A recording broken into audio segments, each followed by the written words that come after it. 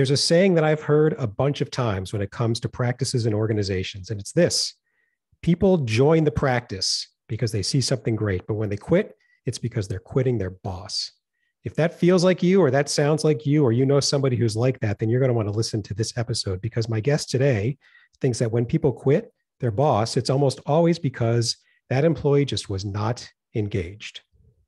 My name is Carl White. I'm principal at Mark Advisory Group, which is a healthcare marketing agency, and I'm also the host of Practice Care, which is about simplified advice, bite sized pieces of advice for the business side of your practice. And today, my guest is Aashi Arora. Aashi is the principal executive coach at iRise Executive Coaching. She's had over 20 years of executive and administrator level experience in operations, healthcare, professional mentoring, and coaching. iRise Executive Coaching provides services to individuals and groups who are seeking enhanced performance and productivity.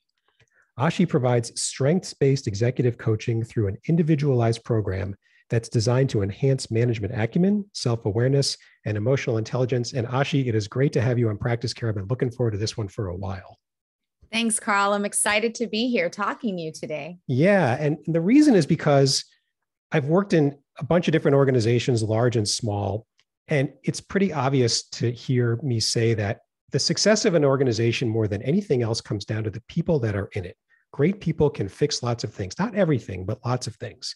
Yes. And the way to get greatness out of people is leadership. And one of the most important things that leaders have to do is to keep their people engaged. And so we're going to try to tackle the term employee engagement, which is, you know, has a lot of different definitions depending on who you ask.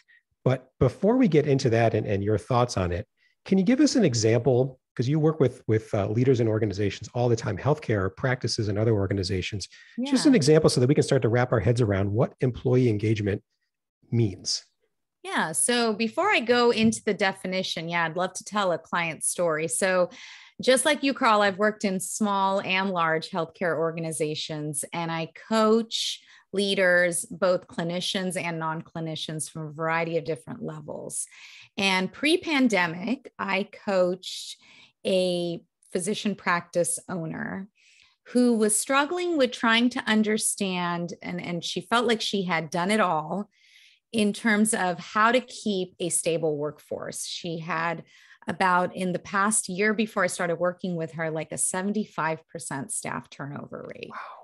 Yeah, super, super high. Brutal. brutal. So it's like every time she was training certain like MAs or working with even like billers, it it there was this constant turnover and she couldn't figure it out. And she's like, I buy them gifts, I take them on trips.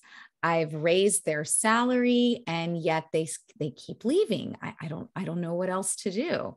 And so we worked together for about the first six months was to stabilize the situation. And then after a year, we were able to bring that down to almost nothing. And one of the really big ways we tackled this was engagement, was identifying the different factors in employee engagement and helping her understand that to create a more engaged culture in her practice. And did she learn along the way that money and trips and things just don't seem to matter very much to engagement? Yep, she sure did. Yeah. She sure did. Yeah. So I, I want to get into it because I've heard the term employee engagement a lot, and I've heard it from leaders at different levels of organizations that I've worked at. Out comes the word employee engagement, and what follows it is a definition that's completely different from what I've heard from others. And and I just looked at that. I go, "This it's just fluffy. Like I don't know what to make of it because I I don't hear the same definition twice, even remotely twice. So let's start with basics. What is employee engagement?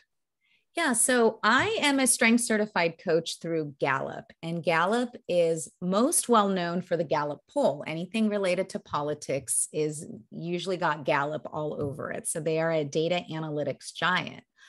What people don't realize is they're also a data giant in workplace analytics. And so the term employee engagement was actually first coined by them.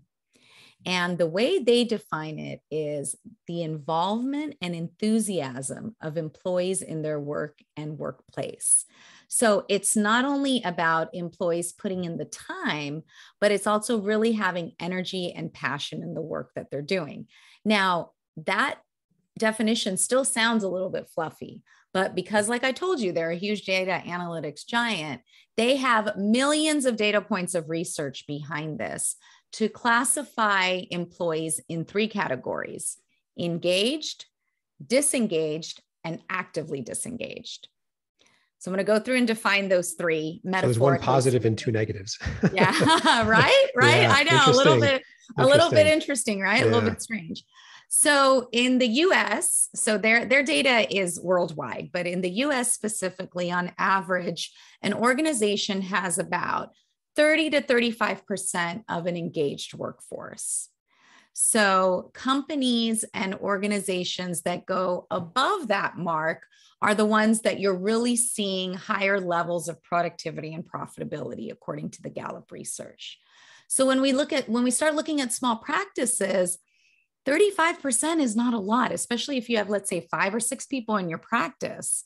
So you really want to work harder to strive in getting that engaged group a lot larger. So, what are the differences between these three groups?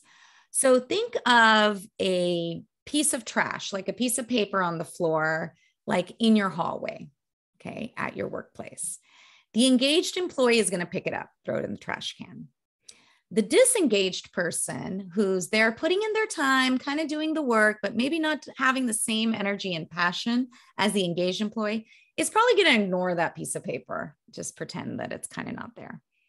The actively disengaged is going to either kick that piece of paper or throw more paper on the floor with it. I mean, these are people that like really don't want to be there. And in fact, might be a little bit more toxic to your environment because they're going to try to move those disengaged people also to the actively disengaged. They're the people that gossip more. You know, they're the ones that um, seem to have a bit more of a negative attitude. And now that might be being triggered by something happening with the leadership, with the physicians in the practice. Um, sometimes it's not. And so it's really identifying, like, usually what I tell physicians is try to see where your employees fit in these buckets and see what you can do to keep the engaged, really engaged and motivated and moving, and have them also help move your disengaged over. You're actively disengaged. You've got to find a time when you just call it quits with those type of employees you know that's where you're headed down sometimes the performance path. But if you're looking at all of your employees and you're putting them in the actively disengaged bucket i would say you need to look at yourself and your practices and see what's happening there. Because how is it that you're hiring all of these actively disengaged or continuing to have a climate of a lot of actively disengaged employees? Yeah and and i'll bet you that many practice owners or, or them and, and between them and maybe like you know the practice manager the practice lead could probably just you know look at the at the roster of people and say you know these people and, and probably get an 80% good. You know this these five are they're really engaged. These five it's probably the ones that are really actively disengaged. It might be the ones in the middle that you might straddle. Well i'm not sure but that's okay. I mean just on a quick glance you probably if you're paying any attention and you're honest about it you probably can tell you know which is a good start yeah. And that's like that honesty is so critical, right? And creating that self awareness. I mean, as a leader, running a private practice, especially, you've got to have that self awareness to how your leadership style is and what's happening around you. So, another thing about measurement is the Gallup actually has an engagement survey. So, you can actually measure and identify like who's really feeling engaged who's not. And it's a it's a 12 step questionnaire. It's like 12 questions. You could give it out or you don't have to give it out. But what it does is it really clues you into what could you be working on as a physician to try to get people engaged or try to like see what could help move the dial. So yeah. curious carl? I, I am. And, and you, you actually i was going to ask um, because doctors, you know, they're they're used to clinical science, right? There, there's a even though not all clinical studies are randomized control perspective double blind and it's you know the cause and effect isn't 100% clear they're used to if i do this i get that and yeah. yes there's squishiness in it but here in the world we're talking about now i've read some other gallup stuff and it's as good as it gets in terms of this input creates that output. But nevertheless, it's still more in the world of social science, not clinical science. And so sure. I, I, can feel some of the, you know, practice owner, doctor listeners out there just maybe cringing a touch. But nevertheless, I mean, you know, tell us a bit about the Gallup and how they've gotten this to about as, as authoritative as it's going to get. Yeah. So they've figured out that if you really want to move the dial on creating engaged culture, an engaged workplace, it will lower your absenteeism. It will lower your turnover rates. It will increase your productivity and profitability. I mean, think about even the type of patient population you're trying to attract to your practice. If you're trying to attract, for example, PPO or Medicare patients who have choice, right? Why mm-hmm. are they going to choose you? Often they don't they don't decline choosing a physician, not because of the physician itself, it's everything around the physician's practice. It's the person who greeted them at the front, it's the person who made their appointment, it's the person who dealt with their billing. You know, so the, the staff and the engagement of the staff is really critical because the more engaged they are, the more happier they are going to deal with your patients. So, all of this is really, really important. Now, how, as a physician practice leader, you're going to figure this out? So, I'm going to walk through the Q12 really briefly. So, imagine a pyramid, okay? And this pyramid is based on Maslow's hierarchy of needs. You can't really work on the top of the pyramid and the questions at the top unless the base and the foundation is solid, right? right. The basic needs are met. Right. So the first question in the Gallup survey is do I know what is expected of me at work? So think about that for a second. It sounds deceptively like it should be simple, but it's probably not that simple, right? You pull yeah, out your job description I mean, and there it is. Yeah. I mean, think about when's the last time, as a physician, any other physicians listening here, you've talked to your NP, your PA, your MA, your biller, whomever about how you measure their performance.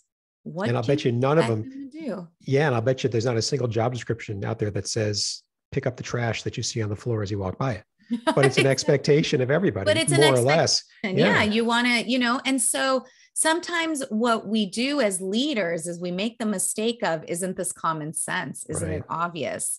Well, let me, you know, newsflash physicians, you have a higher than average IQ. We know this. We know the science tells us. You couldn't have gotten through medical school without academic success and excellence. Right. And IQ measures academic success and excellence. It doesn't necessarily mean your EQ, which is a thought for talk for another. Right. Um, it's a whole other topic.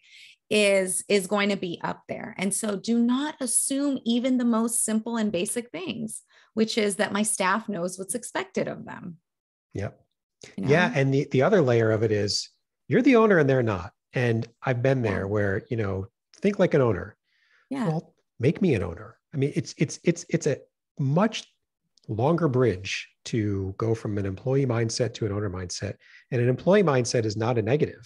Yeah. It's a reality. And and and yeah. yet the engaged ones pick up the trash because they feel like it's their floor.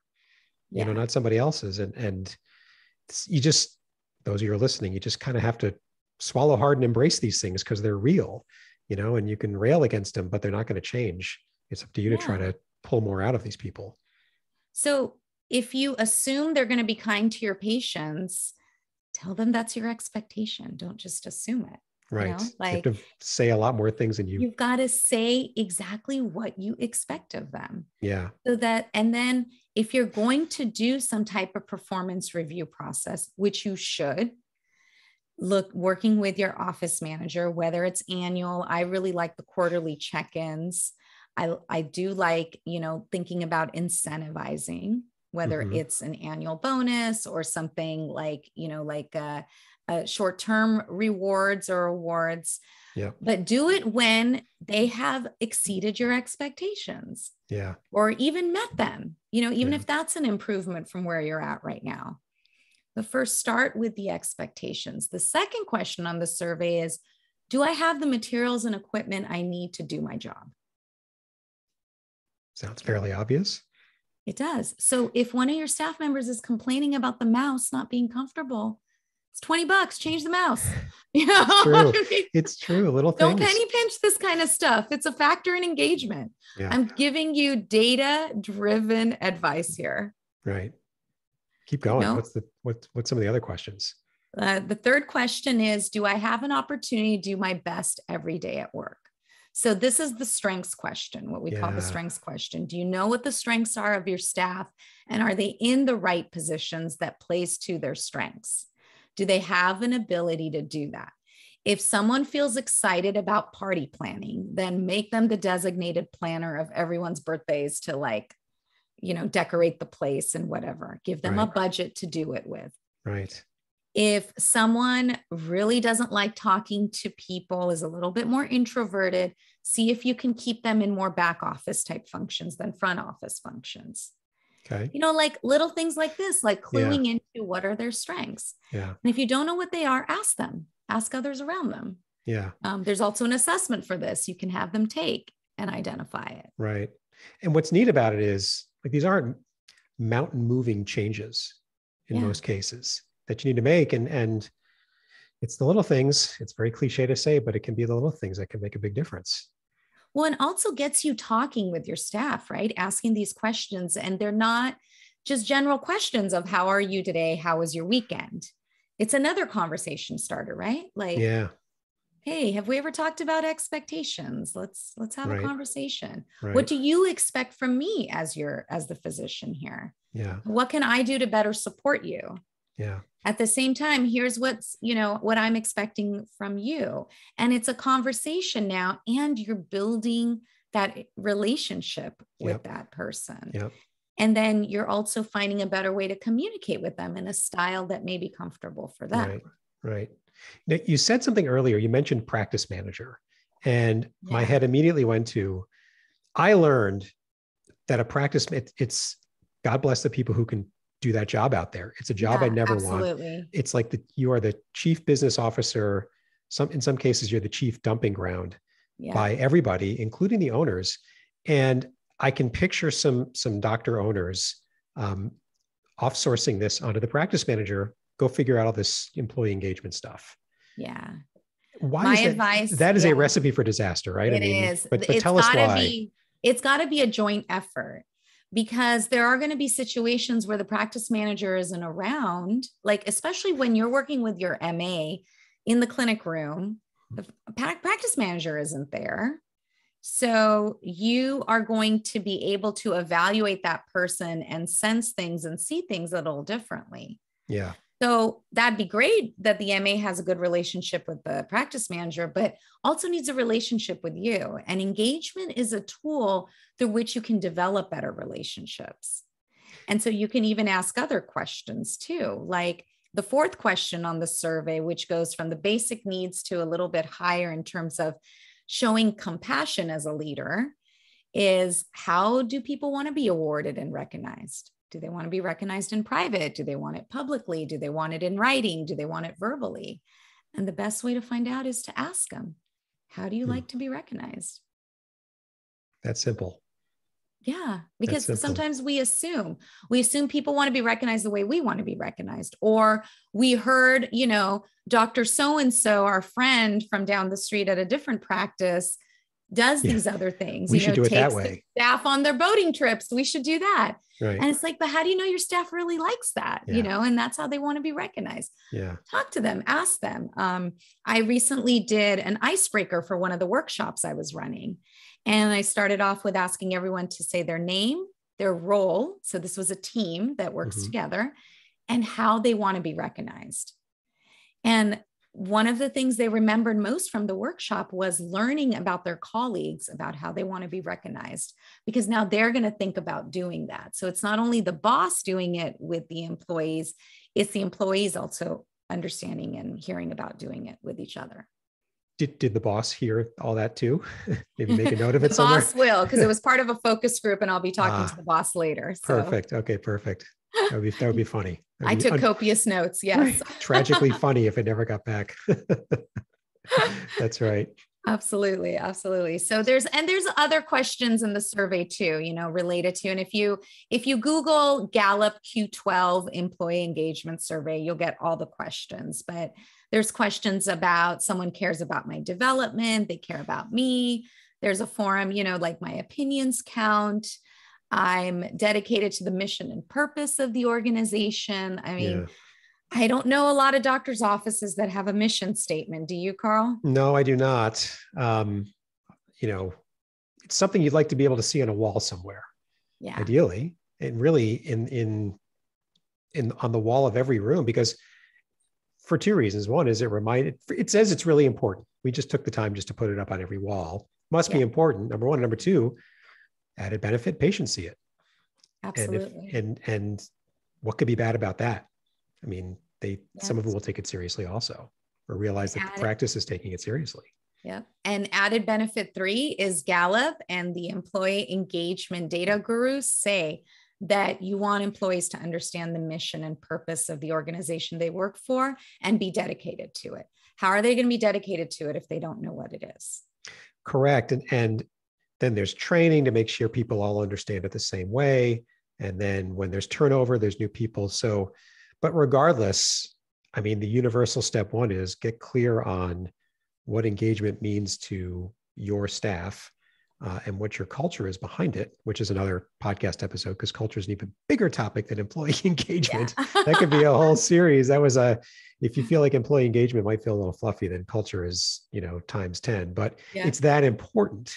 Uh, and yeah. so it's worth working through the, the gray areas um, to try to get one that's good for you yes, we we you know, Aashi, this is this is really really cool stuff. And uh, as I've said on other podcast episodes, man, we we could spend so much time on this. But in the interest of kind of you know sort of you know wrapping it up a touch, um, a couple of questions I ask everybody at the end is first is is there anything that I you think I should have asked you but just didn't?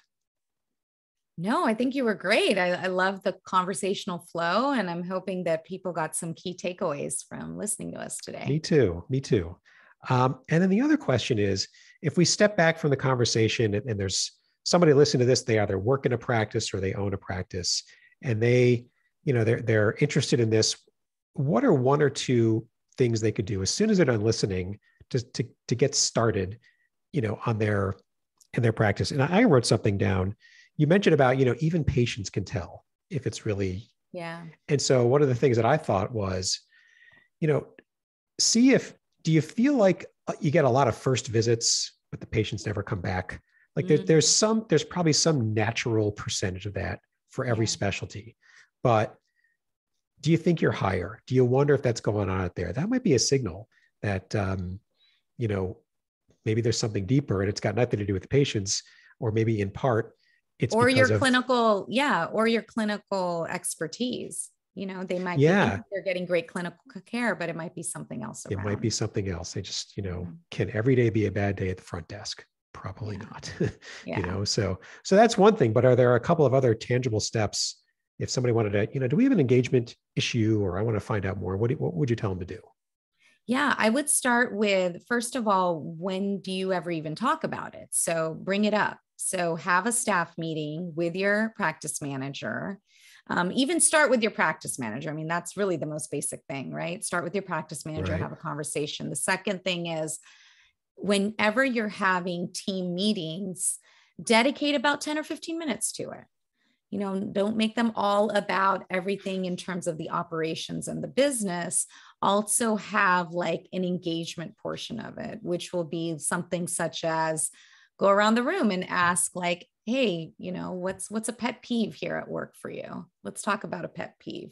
Or let's talk about how you want to be recognized. Or let's talk about what do you think are the strengths of the person sitting next to you? So you're having these conversations around the engagement kind of questionnaire and survey.